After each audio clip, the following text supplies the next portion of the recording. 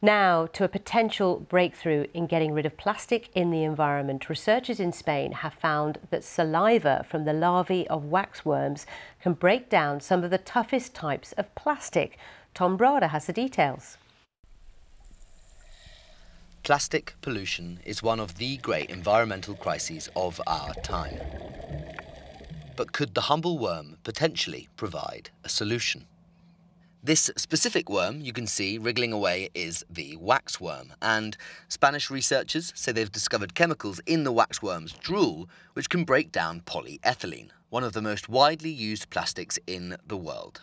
Now we found uh, that worms can do that through their saliva, and in the saliva there are two enzymes that can actually uh, oxidize and then degrade polyethylene. According to the scientists who carried out the research, just one hour's exposure to the saliva can break down the plastic as effectively as years of weathering. And that could be crucial. Polyethylene is an extremely useful but durable material.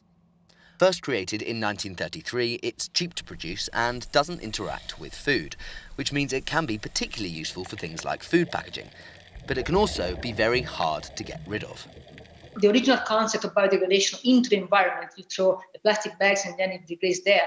But I don't think it's uh, it's, uh, it's, feasible. It's it won't make much sense. So in a controlled environment, waste management facility, bigger, smaller, whatever it is, you can imagine. Clearly, we have to collect the plastic. Then you can pour liters of, of a solution with these enzymes in there.